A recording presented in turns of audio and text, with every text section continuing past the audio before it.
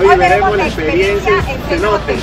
Para ir hasta cenotes tomamos nuestro transporte desde Hotel Escaret. Muy importante, esta actividad se debe reservar con antelación. Viajamos aproximadamente una hora de recorrido para visitar cuatro cenotes. En el primero nos lanzamos de dos tirolesas con nuestros respectivos chalecos salvavidas y con previa explicación del instructor. Ahí vamos. El primero fue más tranqui y el segundo qué miedo.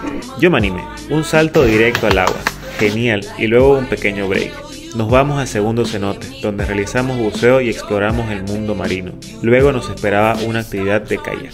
Pasamos al cenote 3 y nos lanzamos en modo rappel. Por cierto, el agua estaba súper helada. Aquí era un buen punto para realizarse fotos y después de tanto nadar nos esperaba un super buffet en medio de toda la naturaleza, a comer súper rico. Pasamos a cenote 4. En este lugar nos esperaba una tirolesa y un tobogán. Ya en el agua nadamos 250 metros para finalizar nuestra aventura. Te invitamos a vivir esta experiencia con Viajes Travelero.